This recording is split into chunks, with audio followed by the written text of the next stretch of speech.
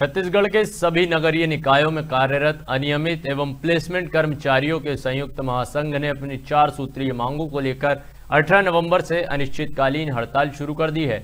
इस हड़ताल में सभी प्लेसमेंट कर्मचारियों ने काम बंद कर सामूहिक धरना प्रदर्शन शुरू कर दिया है। हड़ताल के कारण विभिन्न नगर पालिकाओं एवं नगर निकायों की सेवाएँ प्रभावित हो रही हैं, जिसमें सफ़ाई, जलापूर्ति एवं अन्य प्रशासनिक कार्य शामिल हैं। नगर पालिका शिवपुर चर्चा के अध्यक्ष अरुण जायसवाल ने हड़ताल का समर्थन करते हुए कर्मचारियों की मांगों को जायज़ बताया। उन्होंने यह भी कहा कि वे इस मुद्दे को सरकार तक ले जाएँगे और इन कर्मचारियों एवं उनके परिवारों के हितों की रक्षा के लिए हर संभव प्रयास करेंगे। पूरे छत्तीसगढ़ में प्लेसमेंट कर्मचारियों का हड़ताल चल रहा है, चार सूत्रीय मांग है इनकी।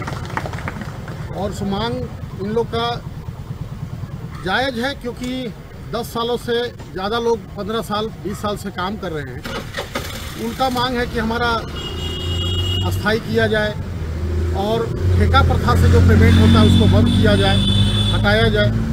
नियमितीकरण का मांग है तो कहीं ना कहीं है कि ठेका प्रथा में अब जो 10 साल 15 साल सेवा दे चुके हैं, उनका अगर होता है शासन से तो मैं ये चाहूँगा कि इनके हित में, इनके परिवार के हित में ये मांग सही है और मांग पूरा शासन से होता है तो इनके परिवार के लिए, इनके इनके लिए बहुत ही पालन पोषण के काम आएगा और इनके हित में रहेगा ये मांग पिछले पाँच सालों से चल रही है। कांग्रेस ज़माने में भी हम लोग इस चीज़ को रखे थे, वहाँ भी कोई सुनवाई नहीं हुई। इस साल शासन में स्तर पे इस बार, कई बार हम लोग दो तीन दिन का हड़ताल किए थे पहले कि ठेका प्रथा बंद किया जाए, चार हज़ार सम्मान राशि दिया जाए।